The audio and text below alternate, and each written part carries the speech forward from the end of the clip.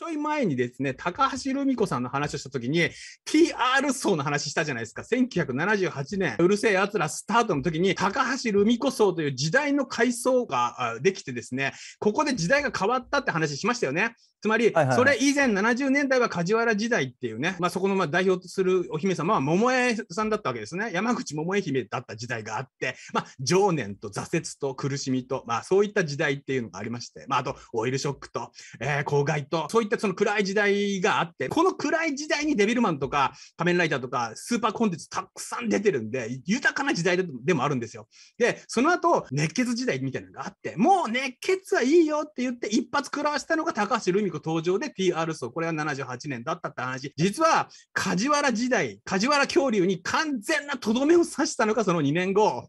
PA 層が登場ですね。アキラと山田。ね、はい。でもね、これね、すごい近いっていうのはなんでかっていうと、この2人すごいね、世代は一緒なんですよ。ほとんど一緒ですね。2、3歳しか違わないんじゃないですかね。で、ルミ子さんの方が若いんですよ。で、スタートも早かったのがルミ子さんなんですけど、80年にドクタースランプが登場して、もう完全に時代変わっちゃうんです、ここで。この2人中心に南北朝時代が始まります。意味が分からへんけど。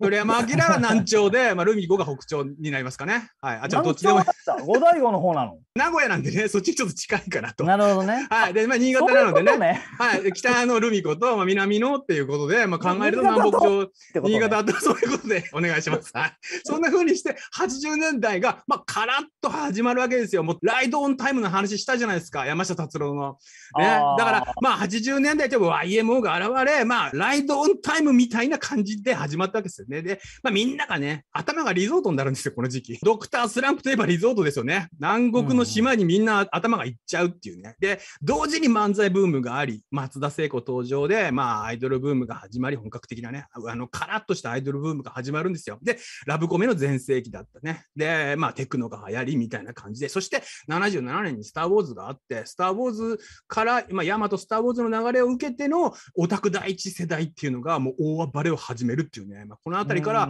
まあ、ほとんどエヴァンゲリオンのあの作った人たちっていうのが、この時代にまあ登場し始めるということがルからのまあ80年代っていうことがまずあるんですよね。もうここがね、だっチャでね、殴られた梶原先生がね、んちゃでもとどめされるというね、ガッチャからの んちゃっていうね、でこの後ね、死んでるんだぜ、そいつっていうのが入るんですけど、あの、足立先生入るんだけど、足立先生はその流れに乗るかと思いきやっていうのをやるやるんで、ちょっとこの流れとはね、ちょっと違うんですよね。足立先生、一瞬、まあ、ポストモダン的ではあったんですけど、実はそうじゃなかったっていうね、さよなら60年代っていうところから、まあ、始まって、ここから80年代にガジェットと女の子の中心の時代になっていくわけですよね。